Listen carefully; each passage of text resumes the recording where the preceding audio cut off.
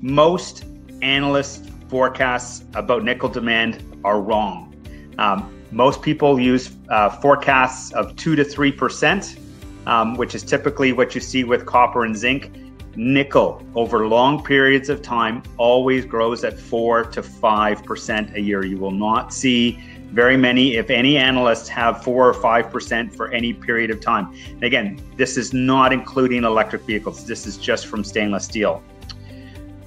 When you then add in growth forecast, I've got Glencore's from about a year and a half ago, which is sort of a middle of the pack forecast in terms of nickel from EVs. You know, you can see today, you know, a very small amount of that nickel uh, is overall nickel demand uh, is for the EV market, but you can see how it's going to rapidly grow.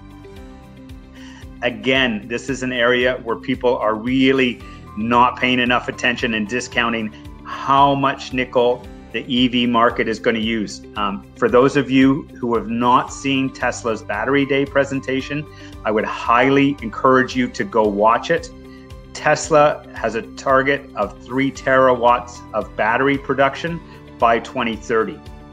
Even assuming a good portion of that will be used to make lithium iron phosphate, which they're going to use in their lower end applications, uh, Tesla alone will need one to one and a half million tons of new nickel.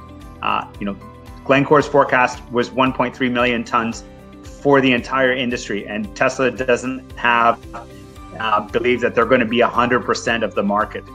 Uh, again, people think of just EVs, but we're talking about buses, pickup trucks, semi trucks. You know, those are all going to be electrified. The you know, the bigger the vehicle and, and the more demanding the application, the more nickel is going to be needed. So, again, I would view these forecasts as conservative.